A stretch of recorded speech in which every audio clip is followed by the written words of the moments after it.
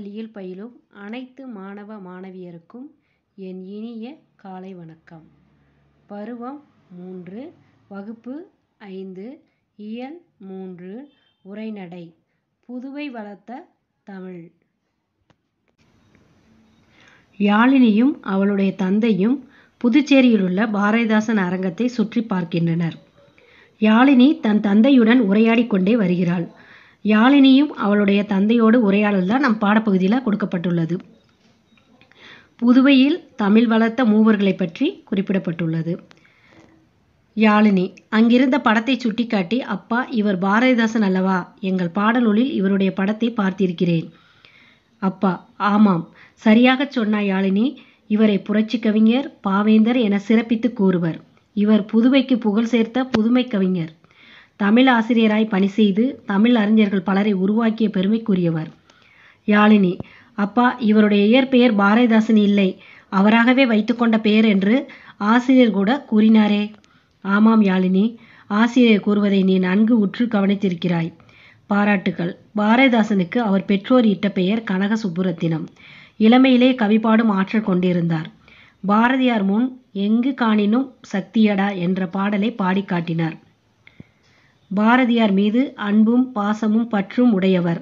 அதனால்தான் தம் பெயரை பாரதிதாசன் என மாற்றியமைத்துக் கொண்டார். அருமை அருமை அப்பா. எனக்கோர் ஐயம். பாரதியார் புதுச்சேரியை சேர்ந்தவர் இல்லையா? இல்லை அம்மா. பாரதியார் எட்டயபுரத்தில் பிறந்தவர். ஆனால் விடுதலை போராட்ட காலத்தில் ஏறக்குறைய பத்து ஆண்டுகள் புதுவையில் தங்கியிருந்துள்ளார். இங்கு இருக்கும்போதுதான் பாஞ்சாலி சபதம் குயில் பாட்டு கண்ணன் பாட்டு ஆகிய முப்பெரும் காவியங்களை படைத்தளித்தார். அவரை பெருமைப்படுத்தும் வகையில் அவர் கவிதை எழுதுவது போன்ற சிலையை இங்கு வைத்திருக்கிறார்கள். யாழினி இப்போது புரிந்து கொண்டேன். பாரதிதாசனுக்கு புரட்சி கவி என்ற பட்டம் வழங்கியதாக கூறினீர்களே அவருக்கு யார் கொடுத்தார்கள் அப்பா? தந்தை பெரியார் தான் புரட்சி கவி என்ற பட்டத்தை பாரதிதாசனுக்கு கொடுத்தார். தமிழின் சிறப்பை பொதுவுடைமை பெண்ணின் பெருமையை பாடியவர் பாரதிதாசன். யாழினி அப்பா பாரதிதாசன் பாடல் ஒன்றை சொல்லுங்களேன். சொல்கிறேன் யாழினி தமிழுக்கும் அமுதென்று பேர். அந்த தமிழ் இன்பத் தமிழ் எங்கள் உயிருக்கு நேர் என்று பாடி தமிழ் மீது தாம் கொண்டிருக்கும் பற்றை வெளிப்படுத்தினார். அது மட்டுமன்று இயற்கை பெண் விடுதலை போன்ற பல கருத்துக்களை முன்வைத்து நிறைய பாடல்களை பாடியுள்ளார். அவருடைய பாடல்களை பாரதிதாசன் கவிதைகள் என்னும் பெயரில் வெளியிட்டுள்ளார். யாழினி அப்பா இங்கே பாருங்களேன் இந்த புத்தகத்தின் பெயர் இருண்ட வீடு என்று இருக்கிறது இந்த புத்தகம் புத்தகம் கூட பாரதிதாசன் எழுதியதுதான். குடும்ப விளக்கு என்னும் நூல் கல்வியின் உயர்வை சொன்னவர். இருண்ட வீட்டில் கல்லாமையின் இழிவை கூறுகிறார். யாழினி அப்பா இங்கே பல நூல்கள் அவர் பெயர் இருக்கிறதே. ஆமாம் யாழினி அத்தனையும் பாவேந்தர் பாடியதுதான். அழகின் சிரிப்பு பாண்டியன் பரிசு தமிழ் இயக்கம் குறிஞ்சி திட்டு புரட்சி கவி இசை அமுது என எழுபத்தி ரெண்டு நூல்களுக்கு மேல் பாடி தமிழுக்கு பெருமை சேர்த்துள்ளார் பாரதிதாசன். யாழினி அப்பா அங்கே பாருங்கள் பக்கத்து வீட்டு பூங்குழலி. அப்பா அடடே வாமா பூங்குழலி எங்கே இந்த பக்கம்? பூங்குழலி வணக்கம் மாமா. பள்ளி நாடகத்தில் நடிப்பதற்காக பாரதிதாசன் பிசுராந்தையார் நூலை தேடி படிக்க வந்தேன். யாழினி அப்பா பாரதிதாசன் நாடகங்கள் கூட எழுதியிருக்கிறாரா? ஆம் முப்பத்தி மூன்று நாடகத்துக்கு மேல் எழுதியுள்ளார். பூங்குழலி வாசிக்க விரும்பும் பிசிராந்தியார் நாடக நூல் சாகித்ய அகாதமி விருது பெற்றுள்ளது. முத்தமிழிலும் வல்ல நம் பாவேந்தரின் நூல்களை இனிமேல் நானும் படிக்கப் போகிறேன் அப்பா. புதுவை தந்த பாவேந்தர் பாரதிதாசன் பெயரால் தமிழக அரசு ஆண்டுதோறும் சிறந்த தமிழ் அறிஞர்களுக்கு விருது வழங்கி சிறப்பு செய்கிறது. மகிழ்ச்சியாக இருக்கிறது அப்பா. இவர் மட்டுமின்றி வேறு யாரேனும் தமிழ் சான்றோர்கள் புதுவையில் உள்ளனரா? அப்பா. பலர் இருக்கின்றனர். அவர்களுள் வாணிதாசன் புதுவை சிவம் தமிழொலி பிரபஞ்சன் போன்றோர் குறிப்பிடத்தக்கவர்கள். பூங்குழலி வாணிதாசனை பற்றி சொல்லுங்கள் மாமா. தமிழ் பிரெஞ்சு ஆங்கிலம் முதலிய மொழிகள் அறிந்தவர் வாணிதாசன். ரமி என்னும் புனைப்பெயரில் எழுதிய இவருக்கு பெற்றோர் வைத்த பெயர் எத்திராசுலு என்கிற அரங்கசாமி. யாழினி அவரின் படைப்புகளை பற்றி கூறுங்கள் அப்பா.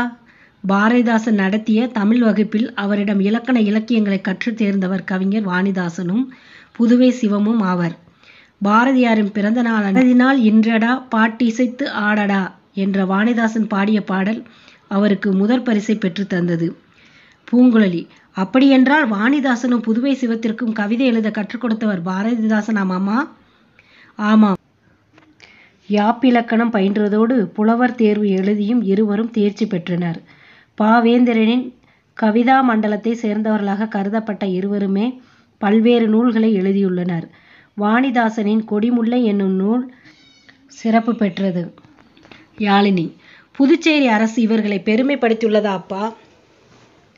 ஆமாம் புதுச்சேரி அரசு இவர்கள் இருவரின் நூற்றாண்டு விழாக்களை மிக சிறப்பாக நடத்தியது.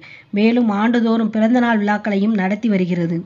தமிழக அரசு பாவேந்திர விருதினை இவர்களுக்கு இருவருக்கும் வழங்கி சிறப்பித்தது. அப்பா தமிழ் மொழியை பற்றி சொல்லுங்களேன். ஓ சொல்கிறேன். சீறி அடித்து சுழன்ற அலைகளில் சிக்கிய ஒரு படகாய் தடுமாறி இழைத்து மடிந்த மகாகவி தன் சரிதம் உரைப்பேன் என்று பாரதியாரை பற்றி பாடியவர்தான் கவிஞர் தமிழ்மொழி இவரின் இயற்பெயர் தமிழ்மொழியா அப்பா? இல்லை இல்லை. அவருக்கு பெற்றோர் இட்ட பெயர் விஜயரங்கம். இவரும் பாரதிதாசன் மாணவர்தான். தமிழ்வழி என்னும் பெயரில் இவர் தம்மை கவிஞராக அறிமுகப்படுத்தி கொண்டார். இவரது படைப்புகள் பற்றி சொல்லுங்கள் அப்பா. மாணவ பருவத்திலேயே இவரது தமிழ் பணி தொடங்கிற்று எனலாம். இவரது முற்போக்கான கருத்துக்கள் பாடலில் எதிரொலித்தன. கல்லூரி காலத்தில் சிற்பியின் கனவு என்னும் மேடை நாடகத்தை படைத்துள்ளார். இந்த நாடகம்தான் பின்னாளில் வணங்காமுடி என்னும் பெயரில் திரைப்படமாக எடுக்கப்பட்டது. இதில் நடித்தவர் நடிகர் திலகம் சிவாஜி கணேசன்.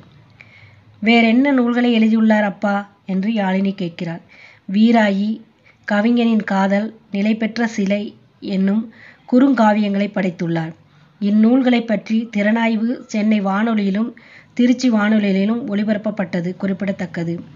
இவை மட்டுமின்றி கவிதை தொகுப்புகள் குழந்தை பாடல்கள் ஆய்வு நூல்கள் கதைகள் குறுநாவல்கள் முதலியவற்றை படைத்துள்ளார்.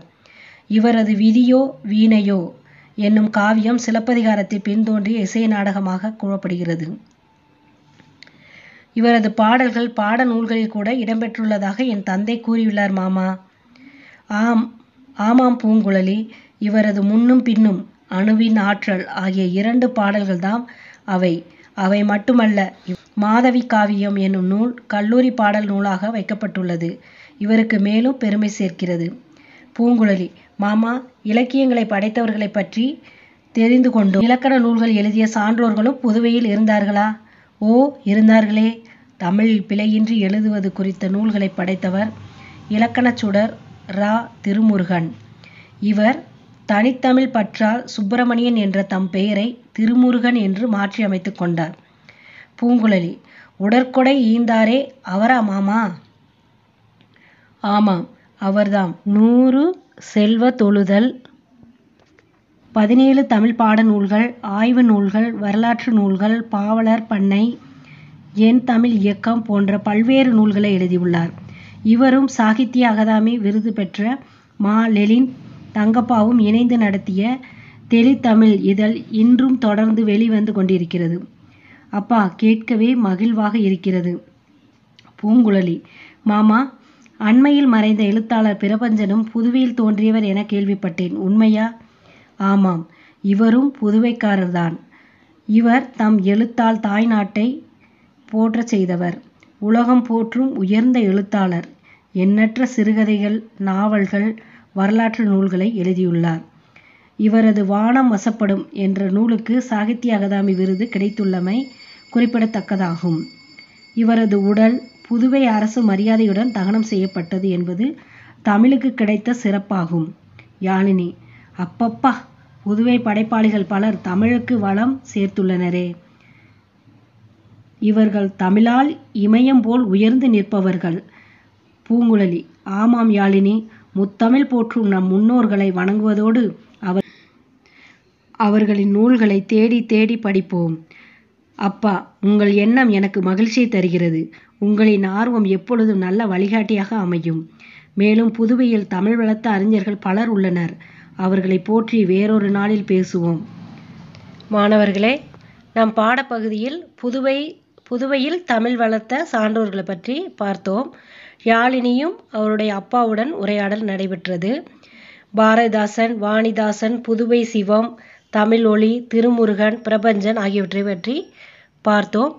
நீங்களும் பாடத்தை ஒரு முறை வாசித்து பாருங்கள். இது இன்றைய வீட்டு பாடம் நன்றி.